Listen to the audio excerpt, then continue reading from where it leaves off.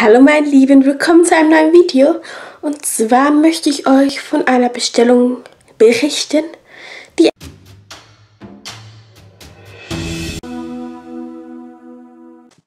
So, und hier seht ihr diesen Sprossen Toni, den ich mir bestellt habe. Und jetzt schauen wir mal, ob der da auch wirklich drin ist. Also... Ich finde, das ist auch hier ganz gut verpackt und hier die Anleitung. Ich weiß jetzt, ob wir die jetzt lesen. Nee, machen wir weg. Und hier kommt eben die erste Kartonschicht und da ist schon das erste Element. Es ist ein Deckel. Okay. Eben alles aus Ton. Wahrscheinlich darum.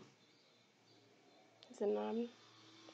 Dann kommt immer eine Kartonschicht und das erste wichtige Einzelteil mit denen.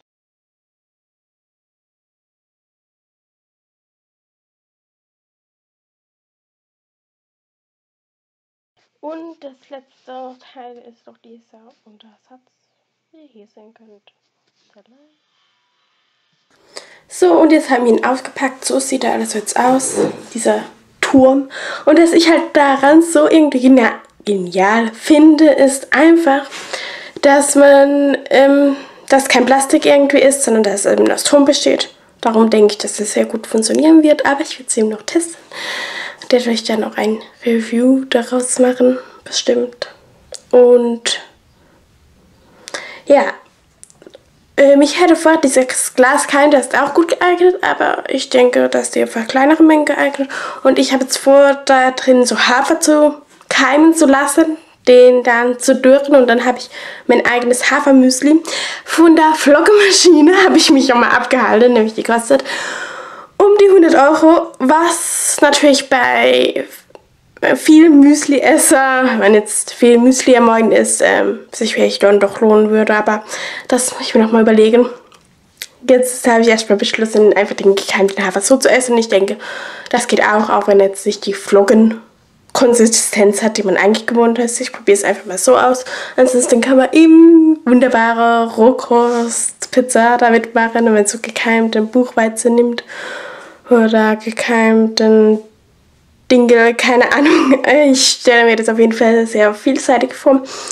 Denn das Problem an der Rohkost war mir immer, ähm, dass mir nur Obst und Gemüse etwas zu langweilig wurde. Aber ich habe ja diesen Dörrautomat, den ich jetzt doch noch länger behalten werde.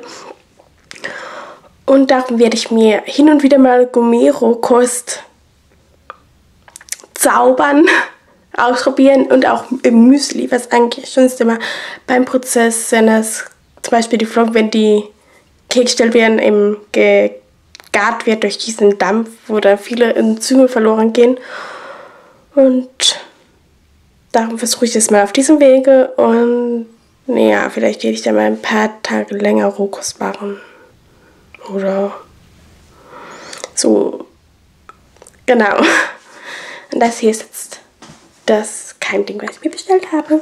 Mhm. Ihr könnt das auch mal ansehen in all seiner Pracht. Reise und wo ich es gekauft habe. Stelle ich euch gerne im Link zur Verfügung. Und was auch cool ist, ähm, diese Tonschälchen hier, die könnt ihr immer wieder einzeln neu dazu kaufen. Das heißt, es ist fast unendlich erweiterbar. Ich weiß nicht, wie viel man drauf stapeln könnte, das Ganze auch hält. Ich habe die kleine Variante genommen. Ihr könnt natürlich euch gleich ein großes Buch dazulegen. Den gibt es auch, die sind die Tonschellen etwas größer. Ja, also hier seht ihr die einzelne wo irgendwas reinkommt eben noch ausprobieren, wie das genau funktioniert. Und zum Schluss eben dieses hier auch mit der Klassierung, damit kein Wasser ausläuft. Der Deckel. Ein Deckel.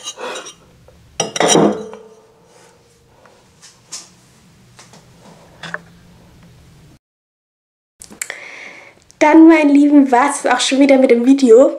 Ich werde euch auf jeden Fall davon berichten, wie das Ganze abläuft, wie das Ganze wird, wie sich das entwickelt. und zeige euch dann die Ergebnisse. Ich lasse mir dann noch was einfallen und ich gehe jetzt erstmal diese Schälchen befüllen, da ich mir gleich noch qualitativer Rohkostgetreide dazu bestellt habe und wir sehen uns beim nächsten Mal. Macht's gut, Leute. Ciao.